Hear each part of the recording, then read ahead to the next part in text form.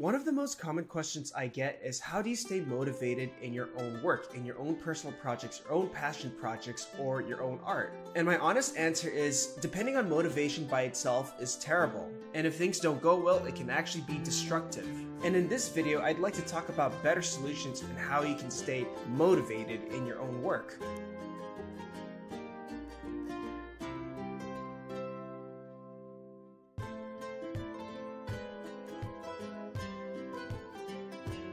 Hey guys, it's Toniko Pantoja, and today I'd like to talk about motivation and why depending on it only or solely is actually quite problematic. So here's the thing about motivation for me. Motivation is quite fickle, meaning it changes constantly, whether it's frequent, occasionally, or rarely. But in most cases for me, it's constantly changing. There'll be times where I feel really motivated and I'm super productive with my own work. Like times where I'm going full sprint and making good work out of it. And then there'll be another day where I just feel so demotivated. I feel so down where I'm just not working at all, and eventually I procrastinate. There are people out there who say they need motivation to be productive, saying things like, I just need a little push, I just need motivation to do this and that.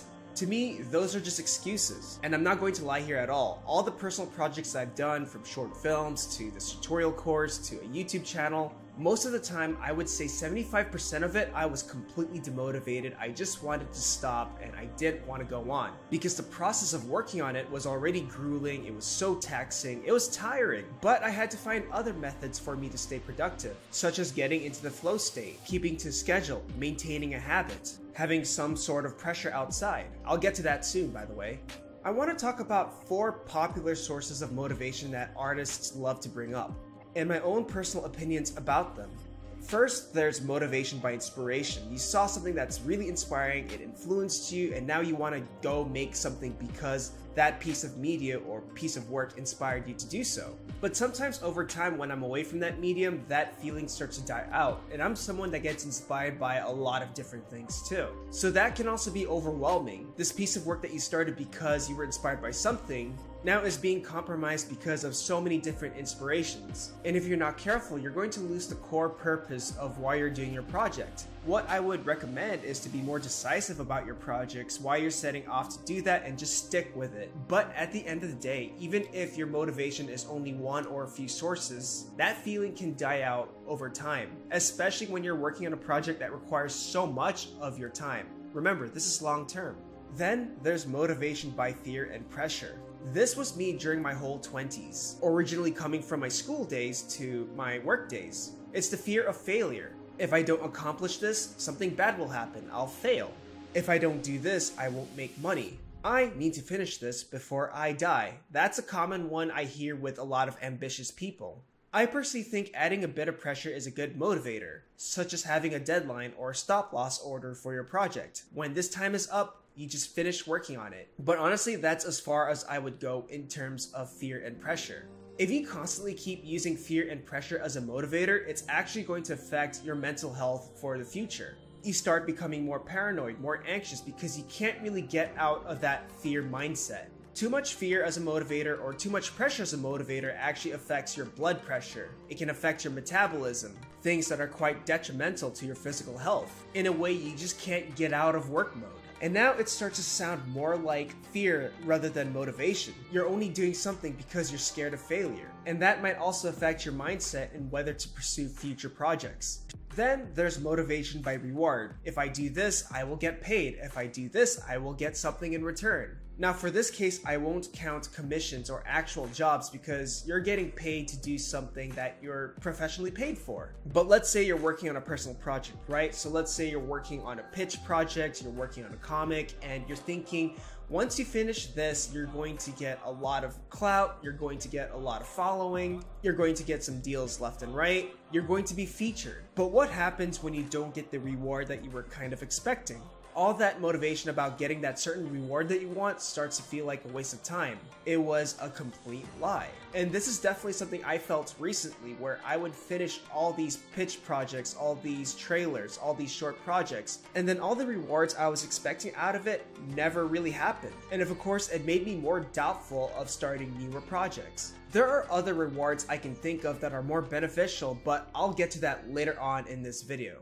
Then there's motivation by competition. Now, I do believe that there are people who are healthy enough to see competition as a good form of motivation. In a way, I'm quite competitive, so when I do see someone that is doing some really good work, I want to challenge myself that I can keep up. Back in the past, when I was younger, it was more like, I need to be better than this other person. Another thing with younger artists is that when they see someone that's younger than them and that's way, way, way better than them, they get overwhelmed and they get heavily demotivated. It's unattainable for them, it's unreachable. And therefore, they just procrastinate it or just stop. And it's a common question or common concern that I see a lot on social media. A lot of younger artists asking, how do you deal with anxiety when you find out there's someone that's younger than you and much better than you and getting all these amazing offers? The only advice I can tell you is always assume there's someone that's much younger and much better than you all the time. Second, you can't compare yourself to another person when they kind of lived a totally different mindset and life from you. Either they worked really hard on something or whether they had a different life circumstance that allowed them to do this. Third is really just to focus on your own personal growth. You shouldn't really compare yourself to other people. Now, there's another source of motivation that I totally forgot during editing this video, but that is motivation by encouragement. This is when you have a community or friends actually support and encourage you basically you're getting positive input and therefore it makes you feel more reassured to go on. I personally think that encouragement is a good thing to have and it's good to surround yourself with positive and supportive people. And sometimes when I have friends that tell me what I'm doing is very inspiring to them, it raises my self esteem. I feel really good and I feel pretty productive. But then there are more days where I'm not getting any encouragement at all because all my friends have their own lives, they're busy, so they don't really have enough time for me or enough time to basically motivate me. So, if you're someone who solely depends on encouragement from other people, what happens when you're not getting any positive input or feedback or encouragement from other people? In most cases, you're the one that's going to have to pick yourself up. So, if you're someone that has low esteem and constantly needs that positive input, then you're going to be stuck in a rut. Here's the thing I don't believe in motivation at all. Let me rephrase that. I don't believe in motivation that requires external factors. And honestly, there are ways to find motivation from within that allows you to stay productive while maintain a healthy mindset. And here's another thing that I'd like to ask you guys. If you're not doing this for anyone outside, if you're not reaping any rewards, and if you know that it's entirely by yourself without any external factors, without the pressure of what people will think of you, what would you do? And how would you stay motivated? The first one I can bring up is motivation by self challenge whether it's challenging yourself to just finish a project or whether you're doing something to learn something new. Maybe you want to change things up. Maybe you're used to doing comedic things and maybe you want to do more serious and dramatic things. You acknowledge that you want to do something that you've never really tapped into in the past. If you know my work, I animate cute, cuddly things, but there are times where I just want to do realistic, harsh, crazy things. Sometimes I want to do something that's more anime, sometimes I want to do something that's more Disney. And one of the reasons why I start projects or pick up commission work is so that I challenge myself to things that I'm not yet super comfortable at, but I know that I will learn or gain something out of it. To me, that experience of self challenge is definitely worth the reward for me. I want to prove myself that I too can do that. Then you can motivate yourself with self incentives. I think giving yourself rewards every time you hit a certain milestone in your project is worth looking into. Let's say you're working on an animated short film. If you finish the storyboarding phase, treat yourself to a nice dinner. If you finished all the rough animation stage, maybe buy yourself something nice. Or maybe give yourself a week off if time allows it. Now, there are reasons why this is a good thing. One is that you already know what type of reward you're going to reward yourself after hitting a milestone.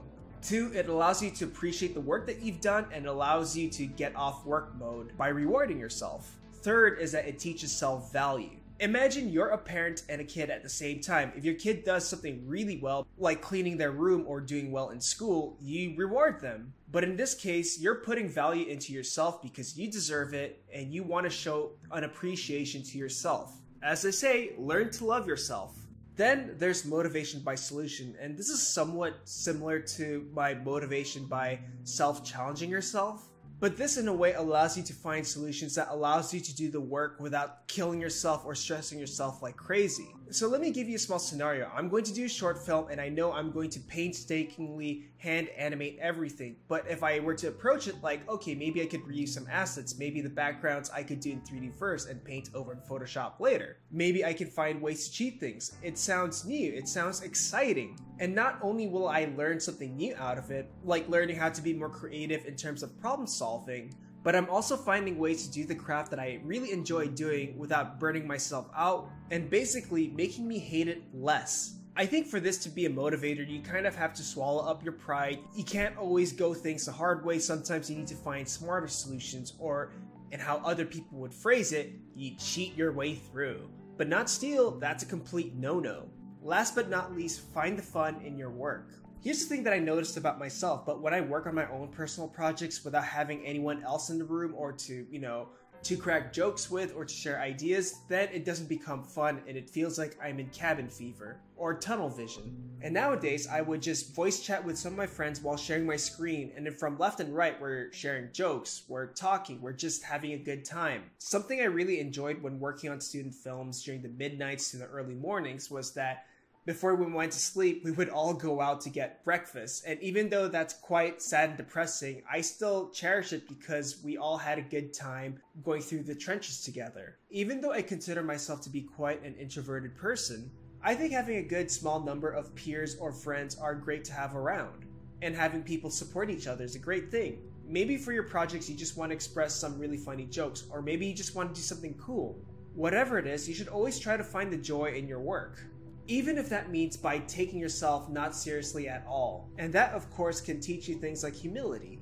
But even so, I talk about motivation that can be found from within, something that's a more healthier approach to motivation. You can't depend on those alone you have to find strategies and how you can stay productive. And I made a video on this. It's called How I Stay Productive. And this is where I talk about things like using a tomato timer. I'm working for 25 minutes straight with a five minute break and then 25 minutes straight. And what this allows you to do is to get into that flow state meaning that you keep the momentum going. There are other strategies I talk about, like recording yourself, making documentations out of it, streaming online with friends or to the public, and just maintaining a schedule. And honestly, you don't have to kill yourself over these things. Maybe you can just take one small step at a time. Maybe you just do a few seconds of animation and then eventually do more and more. And then there will be times where you just do none of it or just do small pieces of it.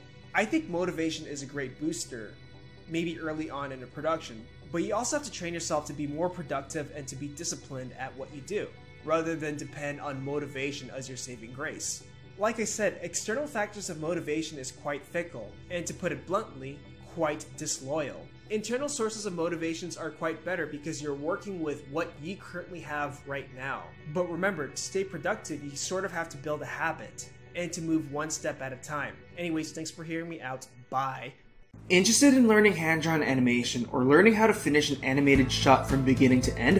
Have a look at the store where you'll find the complete Introduction to 2D Animation video course, tutorials, and other resources.